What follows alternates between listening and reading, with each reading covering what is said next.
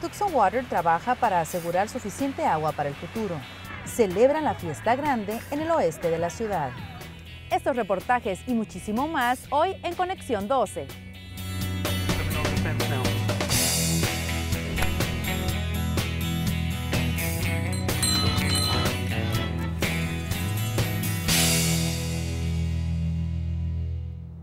¿Qué tal? Bienvenidos a Conexión 12. Les saluda Dulce Mascareño desde la Universidad de Arizona, donde exponen las imágenes de una reconocida artista mexicana. Reportaje que le presentaremos más adelante. Pero antes veamos de qué manera Tucson Water trabaja para asegurar agua para el futuro.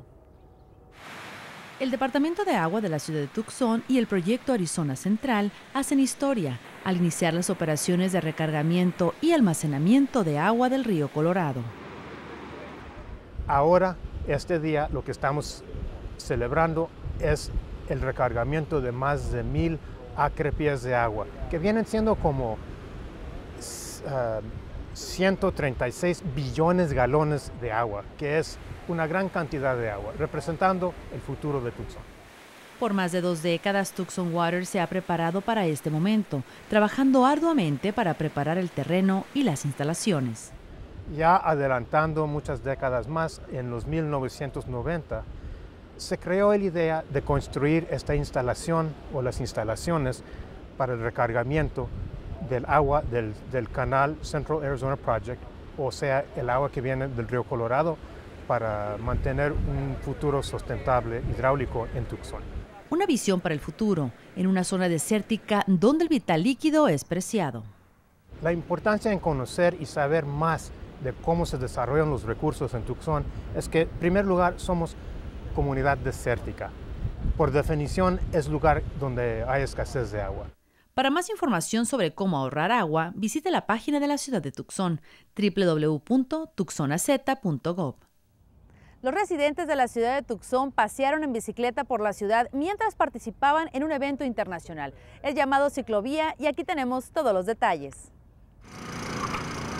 Las calles de la ciudad de Tucson se convirtieron en el lugar ideal para ciclistas de la región, gracias a Ciclovía, un evento internacional. El evento de Ciclovía es una oportunidad para que la gente de, de toda la ciudad pueda caminar en las calles. Vamos a tener eventos hoy de, de comida, de promoción de, de, programas públicos, de ejercicio, y todo el mundo puede caminar en las calles un día tan siquiera al año.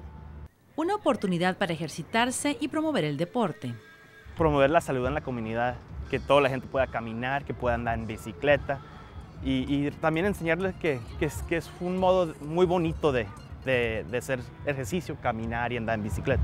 Ciclovía inició en Bogotá, Colombia, y hoy en día es un evento que se realiza en varios países y ciudades de los Estados Unidos.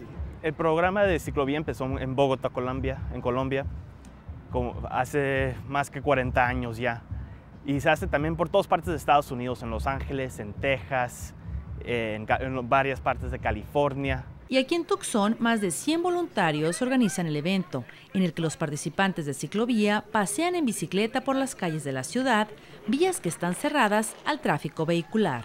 La ciudad de Tucson y el sur Tucson ha sido, han sido muy importantes ayudando a hacer todo lo logístico del evento. Eventos importantes para las familias, como la de Leonel Romero. Yo digo que es muy importante para que la gente pueda salir y, y también a, ver qué hay más aquí en el pueblo de Tucson. No nomás hay diferentes compañías y cosas que nunca, nunca se ven todo el tiempo. Una oportunidad para disfrutar de las calles de Tucson paseando en bicicleta en ciclovía. La Universidad de Arizona expone las fotografías de una reconocida artista mexicana. Ella es Alejandra Platt y comparte con nosotros las imágenes que captó en su recorrido por la frontera.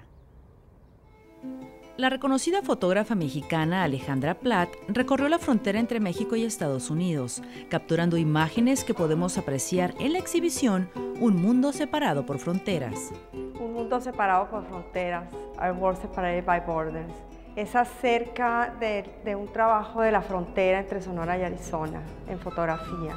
Fotografías que tomó en su travesía capturando la ruta de los inmigrantes indocumentados, que lo arriesgan todo por el sueño americano.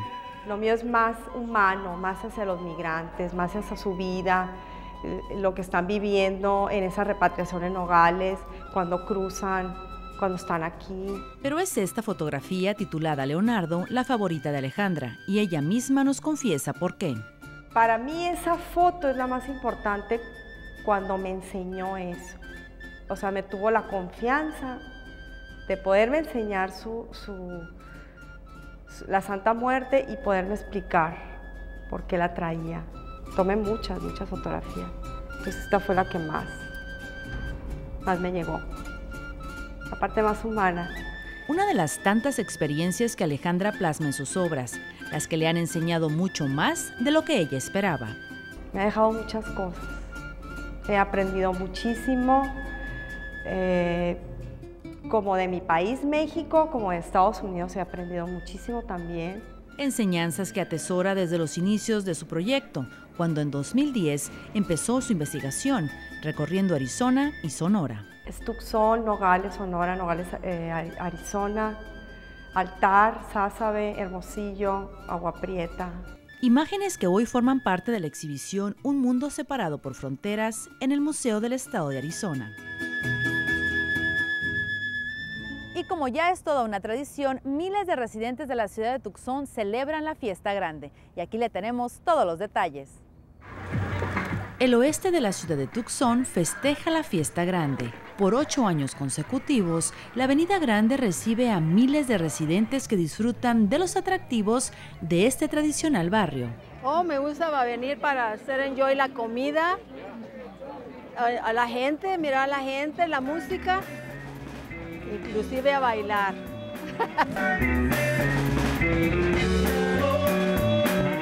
Al ritmo de grupos locales, así como disfrutar de la comida única de la región, como la que prepara la familia Kukich, quienes debutaron en la fiesta grande con su original receta.